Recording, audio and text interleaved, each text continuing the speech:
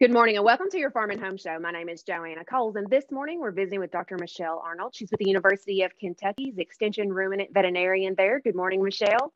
Good morning. How are you? I'm doing well, and I'm glad you're here today because we're going to talk about a topic that seems like it kind of rears its ugly head every single year, but it's important. It's important for our beef producers, and that's pink eye. Yes, every year we have pink eye. It seems it's the most requested topic that I um, have to have to talk about, and it's the most difficult um, because it does seem to be a reoccurring. We we just don't seem to have a good handle on how to stop it. First, let's talk about what is pink eye. So pink eye is um, an in- infectious disease caused by a bacteria. That's actually the bacteria is Moraxella bovis. And that is normal. That's a normal bacteria of the eye. So there are some stress factors, some environmental factors, some host factors that uh, that trigger this bacteria to all of a sudden turn mean. It gets what we call virulent. So when it turns these factors on, then it can attack the cornea of the eye, which is the clear, you know, the clear area we see through. Um, and that when it attacks the eye, it starts to dissolve the cornea and makes an ulcer. And that can progress and finally end up as, a, as an eye that's non-functioning. And again, this is a situation where we have other factors that play that come into play. So, and so what um, are some of those other factors? Number one contributing factor is face flies. Face flies um, make their living by going up and scratching the surface of the cornea. And with because their feet are kind of like sandpaper, they scratch the eye and make it weep and then they blot up the tears.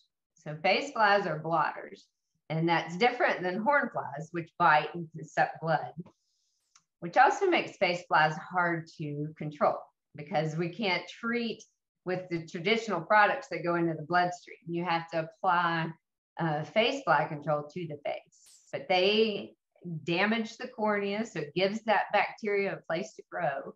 Plus, they spread it from one to the next. So that's our number one um, problem.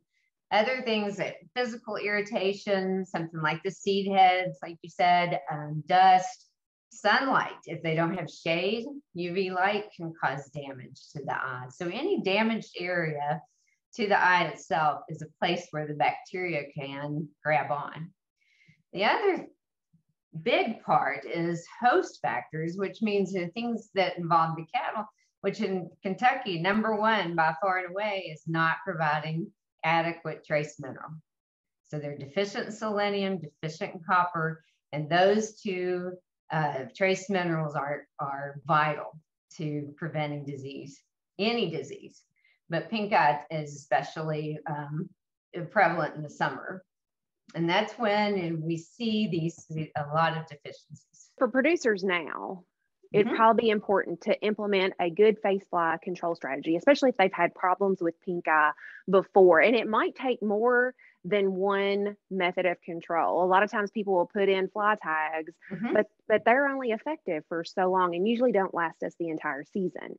Correct. And then some people use the um, insect growth regulators in the mineral itself. And if you use those, great, but you need to start them right now. They should be started 30 days prior to um, fly season and continued until 30 days after it's over. So you've still got to institute something for um, the adult face fly control. So there are um, other methods though. We've got um, any type of fly control that they walk underneath, like a back rubber with, with the um, pieces of fabric that hang down so that they have to walk through and get that on their face is, a, is great control but you, you put it someplace where they have to go through like a gate to get to water or get to mineral.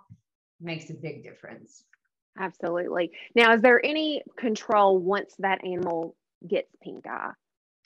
It's once they've got pink eye we just need to treat. We need to treat with antibiotics and, and quickly. You certainly don't want to delay that. So when you start to see that weepy you know weepy and they they hold their eye closed because it's painful that's the time to treat right then. Long acting tetracyclines, such as LA300, is still the, the, the, most widely used. And if you have questions, make sure to contact your local extension office or your veterinarian, and I'm sure they'd be happy to help. Thanks for watching and have a great day.